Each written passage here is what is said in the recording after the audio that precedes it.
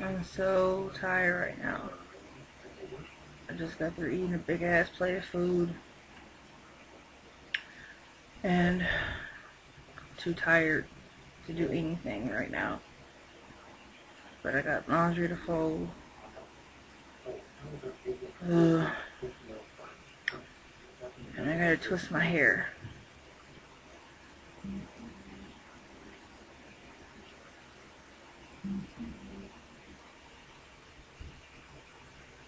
See? I'm tired. So, I wish I had some kids I can put to work. Because I really don't feel like doing this. Not tonight anyway. I know I'm going to have to do it tomorrow. If not tomorrow, then uh, Saturday. But I have a busy week ahead of me. I start my new job. And I still have to iron my clothes for the week. And all that fun stuff. So, wish me luck on that. I really didn't intend on doing a video tonight because I'm just so worn out and I look a mess. I just took a shower. I feel pretty good, but I'm really tired. So I had to do some errands this morning. I had to go get some cat food and cat litter for my cat, which is not here, or who is not here. She's at my mom's still.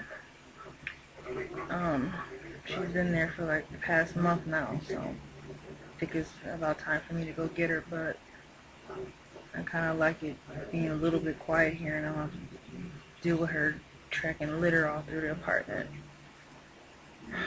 So, yeah, that was my day. And my car is acting strange yet again. I don't know what's wrong with that thing. So I'm taking it up to the shop yet again tomorrow. my hair looks so dry right now. I just washed it. So I guess it's gonna look like that.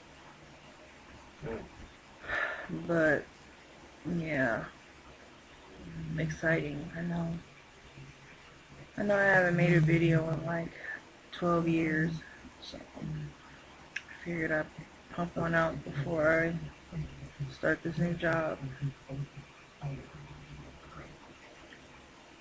What am I looking at, first of all? I don't know what's over there. It's just nothing but clothes.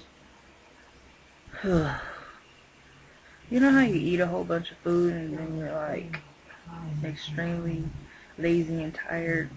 It's actually called the itis.